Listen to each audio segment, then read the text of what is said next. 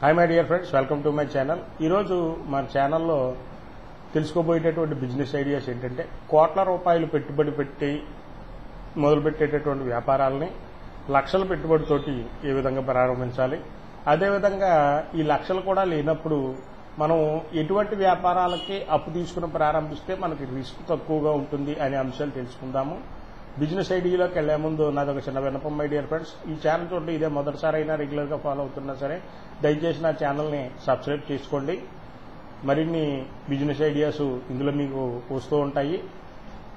మా ఛానల్ని మీ సపోర్ట్ ఉంటుందని ఆశిస్తున్నాను. ఓకే ఇప్పుడు ఐడియాలోకి వచ్చినట్లయితే కనుక ఇప్పుడు ఒక కళ్యాణ మండపాలు కానీ పబ్లిక్ రిసార్ట్స్ కానీ అదేవిధంగా ఈ సినిమా హాల్స్ కానీ ప్రారంభించాలి అంటే కనుక మన దగ్గర కోట్ల రూపాయలు పెట్టుబడి ఉంటే కానీ సుమారుగా ఒక పెద్ద కళ్యాణ మండపం ప్రారంభించాలి అంటే ఒకటి నుంచి మూడు కోట్ల రూపాయల వరకు ఉంటేనే కానీ స్థలం దగ్గర నుంచి అన్నిటితోటి ప్రారంభించడానికి అవదు. సుమారుగా ఒక చిన్న రిసార్ట్ అయినప్పటికీ అదేవిధంగా ఒక సినిమా థియేటర్ అయినప్పటికీ కూడా దగ్గరగా ఆరు కోట్లు పది కోట్లు ఇంకా రేంజ్ ఇంకా చాలా పెద్ద పెద్ద రేంజ్లోనే ఇవన్నీ ఉంటుంది. సుమారు ఒక సినిమా థియేటర్ కంటే ఒక పది కోట్ల వరకు కూడా ఈ స్థలం ఇవన్నిటితో కట్టుకోవాలంటే పది కోట్ల వరకు కూడా ఉంటుంది.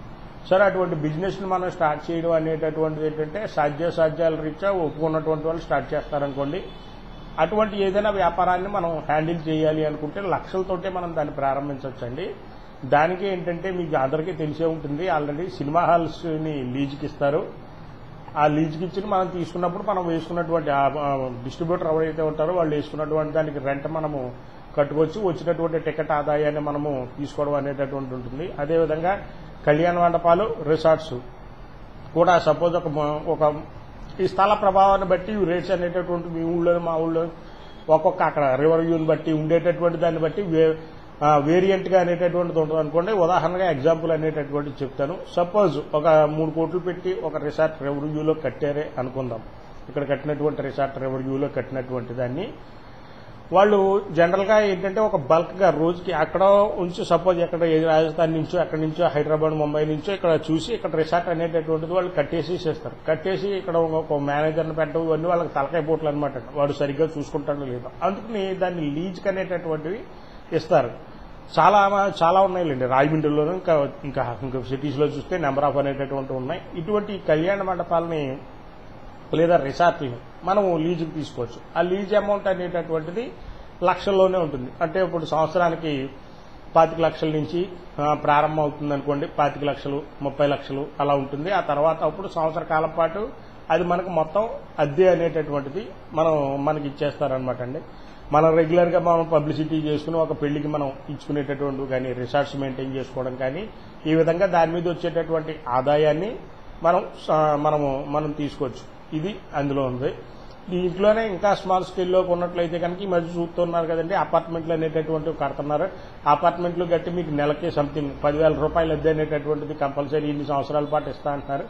ఆ అపార్ట్మెంట్ ఏదైతే ఉందో దాన్ని విడిదిల్లు పెళ్ళిళ్ళకి సంబంధించినటువంటి విడిదిల్లు అనేటటువంటి మ్యారేజ్ హౌస్ అనేటటువంటిది ఇస్తున్నారు. ఒక్క రోజుకి వాడు యాభై వేల రూపాయలు ముప్పై వేల రూపాయలు ఛార్జ్ చేయడం అనేటటువంటి చూస్తున్నాడు. మినిమంలో మినిమము పదిహేను వేల రూపాయలు ఛార్జ్ చేస్తున్నాడు. అంటే వాడికి ఒక నెల రోజులకి ఇచ్చేటటువంటి రెంట్ వీడికి ఒక రోజులోనే వచ్చేస్తుంది. మాక్సిమం ఒక ఐదు పెళ్ళిళ్ళు కనుక ఐదుగురు కనుక వాడు రెంట్ ఇచ్చాడంటే మిగిలిన నాలుగు కూడా వీడికి మిగిలిపోయినట్టే. అదేవిధంగా రిసార్ట్స్ని కూడా ఇవి ప్రారంభించవచ్చు. వీటికి కనుక ఇందాక కనుక వీడియోలో చెప్పినట్టు మీ దగ్గర కనుక డబ్బులు కనుక లేకపోతే ఈ లక్ష రూపాయలు ఒక పాతిక లక్షల రూపాయలు కూడా మనము పా- మీ దగ్గర కనీసం ఒక ఐదు లక్షలైనా ఉంటే కనుక ఐదు లక్షలు ఆరు లక్షలు ఉంటే మిగిలినటువంటి భాగాన్ని అంటే సుమారుగా ఎనభై ఐదు పర్సెంట్ మీరు ఈ విధంగా నేను సంపాదిస్తానని చెప్పేసి ఒక అందంగా ఒక చార్టెడ్ అకౌంటెంట్ తోటి ఒక ప్రాజెక్ట్ రిపోర్ట్ని మీరు తయారు చేసుకుని బ్యాంకుకి పెట్టినట్లయితే కనుక మీ డిగ్రీ సర్టిఫికేట్ కానీ టెన్త్ సర్టిఫికేట్ ఉన్నా సరిపోతుంది ఇంటర్ సర్టిఫికేట్ కానీ వీటితో ఒక నలుగురు సభ్యులు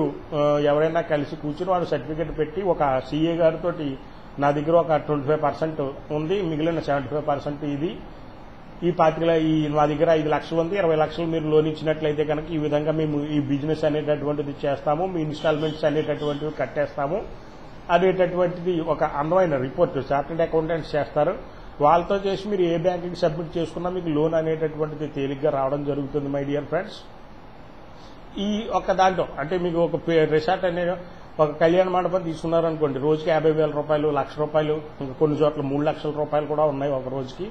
అంత పెద్దది కాకపోయినా వచ్చేదానికి ఒక యాభై వేల రూపాయలైనా తీసుకున్నా. నెలలో ఒక సీజన్ వచ్చిందంటే మీకు అసలు కళ్యాణ మండపాలు ఖాళీ ఖాళీగా ఉండవు. ఆ సీజన్లో అయితే ఖాళీగా ఉంటాయి. అలా సీజన్లో మీరు దుండుకున్నట్లయితే కనుక కంపల్సరీగా మీరు సక్సెస్ అనేటటువంటివి సాధిస్తారు.